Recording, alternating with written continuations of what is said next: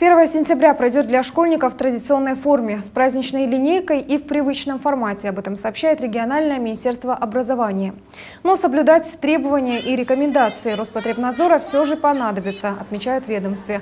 На входе в здание школ должен быть организован замер температуры тела, в помещениях установлены антисептики и устройства для обеззараживания воздуха.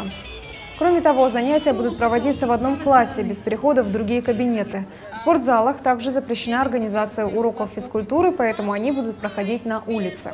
Что касается вопроса ношения масок, ни для учителей, ни для учеников оно не будет обязательным, поясняют Минобри.